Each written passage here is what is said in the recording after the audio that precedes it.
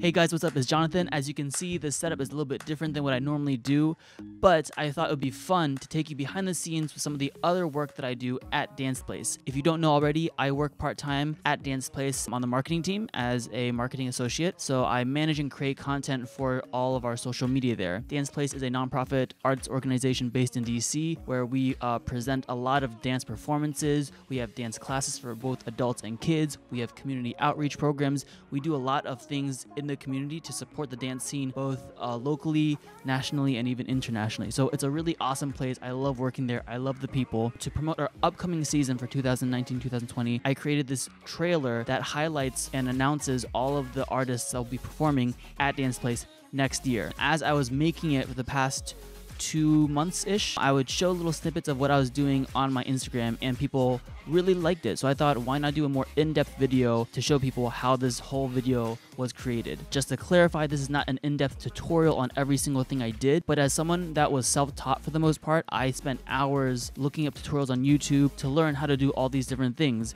And so I'm hoping that by making this video, I can give someone that little tip like, oh, that's cool okay, here's what I need to search now, now that I know what that is, or here's how I can do this little thing, or this helps me think of how to go about creating this a little bit differently. So I hope this helps in some way, or it's just cool to see, you know, all the work that went behind this because I love learning how things were created. Also, like I said, a lot of this was self taught, just figuring it out as I went. So if you know of a better way to do something that I'm going to show you, please leave it in the comments below. I am always trying to learn how to do things better and more efficiently. And if you are only interested in a specific part of the video, go to one of these times to check it out.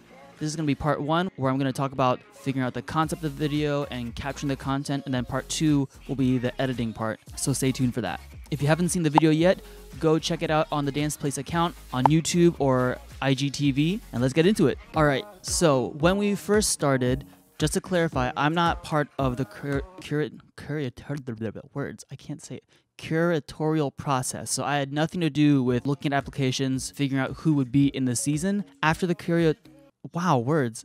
After the curatorial team had decided on the artists for the next season, then our communications director, Amanda, came up with more detailed specifics about what the Amplify season would look like. She explained it to me, we talked it through, and then she's the one that had the original idea of what the trailer would look like. We thought starting in black and white and ending in color would work really well. We had done that last year with our Discover season, and it read beautifully. It was really cool to see that shift and it was really dynamic, so we liked it, so we wanted to keep that somehow. And Amanda had thought of a script that she wanted to use, and so we kind of went for this like Nike ad, really dramatic feel in the beginning. And we started drawing out a rough storyboard. So saying like, here's the script, and then for this phrase, we want this kind of shot. And at first, it was actually pretty abstract. We were thinking there would be uh, maybe a close up of an eye, and then a body part, but then maybe like a water drop or something running past. And then it slowly shifted to being really just um, focusing on the dancers. And during this phase, I think maybe every other day we would meet back up talk through it again, something would change, and it just kind of kept going and evolving like that until we got to the actual film day and we were like, okay, it's locked in now, we can't change it again. And as we were talking about the word amplify and the concept of amplifying artist voices who maybe don't always have a platform, and the idea of sound waves and um, microphones, which kind of got cut from the concept, but sound waves really stuck with me, and so this idea of circles rippling out from a center. Uh, started to come into the works, so that's where you see some of that in the animations. And an initial idea that Amanda had for graphics was this like breaking up of an image with blocks and shapes. And that's where the idea of the building coming apart in the middle to reveal the artists inside Dance Place, that's how that originally came about. Going into shooting the content, we knew uh, we needed a time lapse we knew we needed footage of dancers. We knew we needed to compile footage of all the artists that were going to be in the season, and we needed to record voiceovers for the script. Also, going into this, I had never really done time lapses before, and I had never done animations in After Effects like that before. I have done a lot of work in After Effects but I've never done that like line drawing effect. I knew it was possible. I had kind of looked at some tutorials before and I thought it was doable. So then uh, those were both ideas that I kind of put on the table and was like, hey, I think this would be really cool to do. And personally, I wanted to try them and challenge myself and just learn some new techniques. So for a time lapse, I did a lot of research. I shot it on my Canon 5D Mark IV, which has a built-in intervalometer. So basically I can set it, tell it how many shots I want it to take and how many seconds between each shot. So with my 5D Mark IV, I used a 16 to 35 millimeter lens and I wanted something wider because then it allowed me to get closer to the building, makes it look larger than life. Versus if I shot this on a more telephoto lens, it would be more compact. It wouldn't have that same effect. It would look like it was smaller and further away. It took me like four or five tries to get the time lapse right. I would try something, it didn't work. I would go home, research, try to figure out what I did wrong, try it again. Okay, something else didn't work, try it again. Originally, I wanted to try to do a sunrise time lapse on the building, which is still on my bucket list, but it was just too much work. And eventually I realized what was more effective was getting clouds moving over the building. Even that took a couple tries because I would show up, there'd be no clouds. And so I would have to cancel and figure out the next time I could do it. And with clouds, the tricky part was getting enough clouds in the sky where you could see them moving, but not so much that it would keep moving in front of the sun and really changing the exposure on the building. And I got really lucky with this final one that you saw in the trailer. There were lots of clouds. It was beautiful, but none of them ever really moved in front of the sun, which was amazing.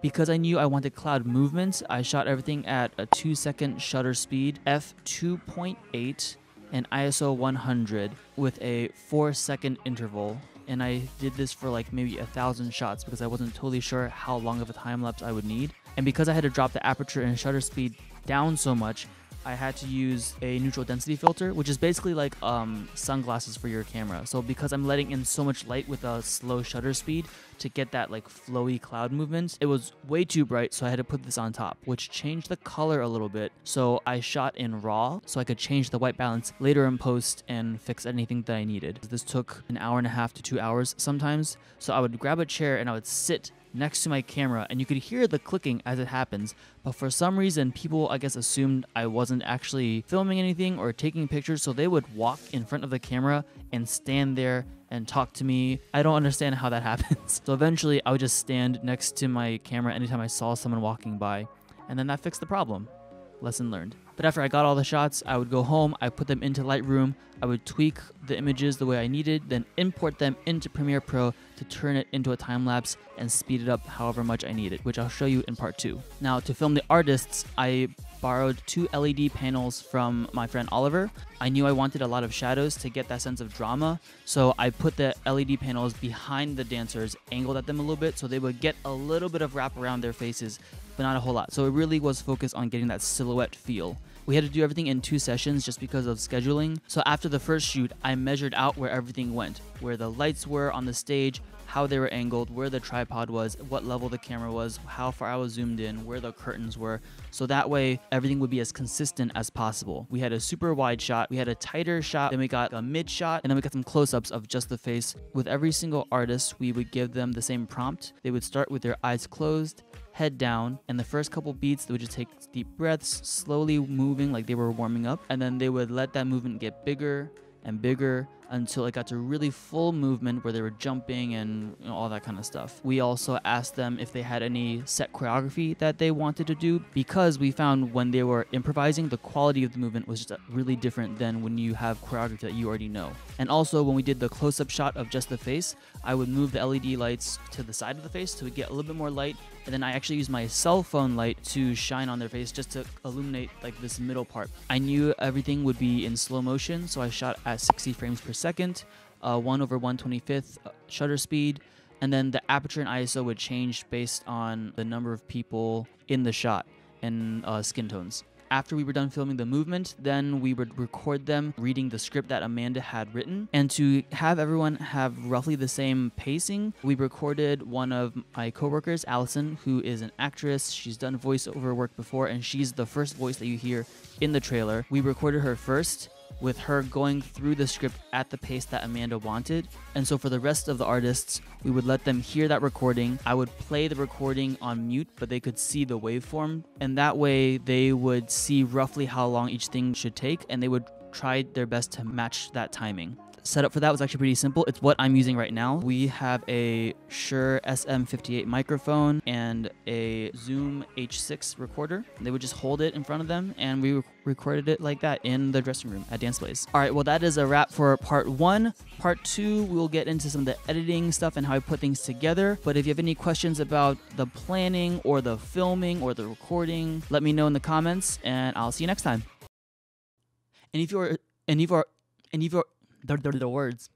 And if you are only interested in a specific part of the video, if you're interested in just one part of the video, and if, if you're interested, if you are interested in learning on, if you are interested in learning how I did a certain part of it, wow, words! I cannot talk fast.